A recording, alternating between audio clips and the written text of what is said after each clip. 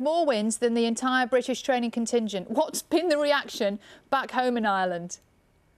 Oh, it's been incredible. Um, look, current situations that, that the world is living in at the moment um, has obviously meant we're. Uh, I, am currently on a five day um, uh, quarantine, so um, you know, hopefully when that's over, we'll get to we'll get to see a few people and things. But uh, you know, my phone hasn't stopped hopping. I think my mum and dad's phone is the same, and uh, just so many good wishes. And yeah, I, I when I was over in Cheltenham for the, for the four days, you're you know you're in a kind of a bubble, and you're you're just focusing on the next day. It's it's a relentless four days. So yeah, I, I really got a shock when I came home as to the actual mass of the reaction that that it got. You know.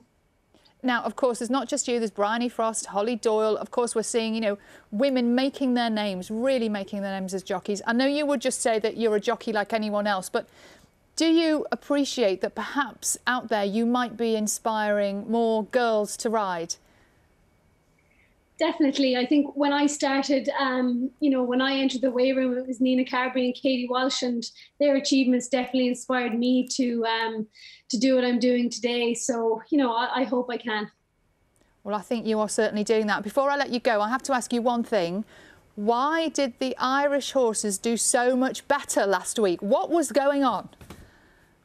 The uh, the elusive question. um, I. Uh, I think we're just better. Oh, well, there we go. Simple. Rachael, I love that.